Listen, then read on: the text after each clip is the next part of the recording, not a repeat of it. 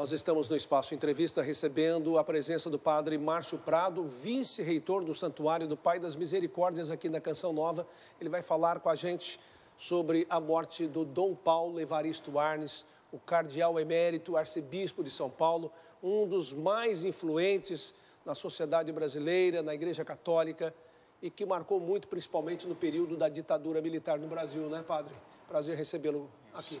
Obrigado. É, e também saúdo todos que estão em casa acompanham esse nosso momento. Quem foi entrevista. Dom Paulo Evaristo Arnes para o senhor? Foi um grande bispo, um grande pastor, um grande homem de Deus.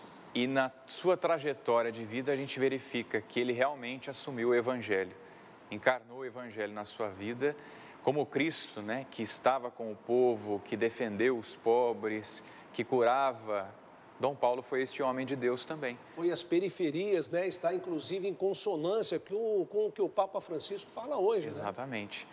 E, e, e, a história dele, a vida dele, lembra muito aquilo que o Papa Francisco tem feito hoje.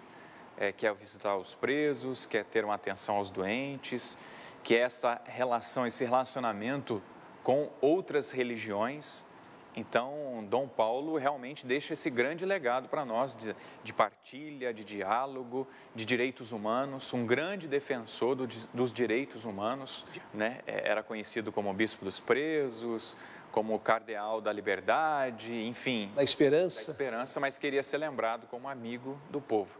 E interessante né, que o, o lema dele era de esperança em esperança.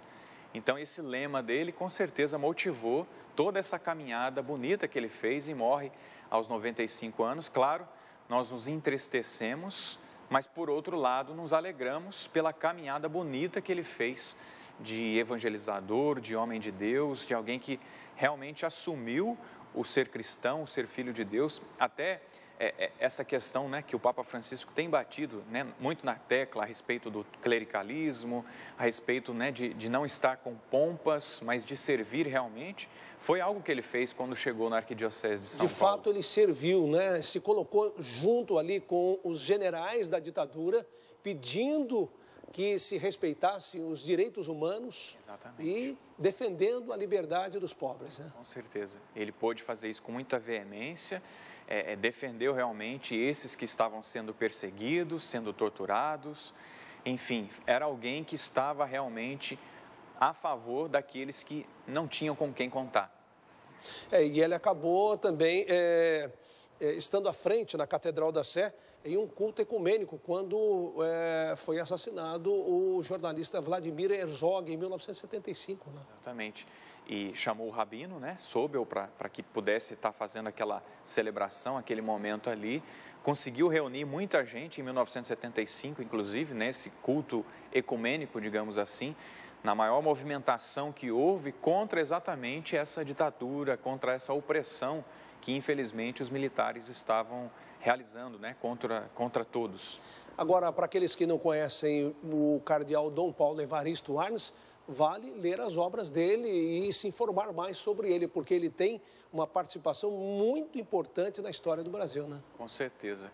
É, nós vamos ver muitos intelectuais, muita gente aí no Brasil que vai se pronunciar a respeito dele. Né? Já tem muita coisa na internet que fala a respeito dele, mas muitos é, é que inclusive receberam um prêmio, né, Nobel da Paz, prêmio, é, é que vão dizer: é, eu devo a minha vida a Dom Paulo. Exatamente porque ele foi esse defensor. Foi um dos grandes humana. se fazendo pequeno entre os pequenos. Exatamente. Embora tenha conseguido o, digamos assim, o alto grau do episcopado ou de ser cardeal, não usou isso para oprimir, para pisar, não, mas para aquilo que realmente é, né? servir. Ok, padre, muito obrigado pela presença aqui no Canção Nova Notícias. Nós vamos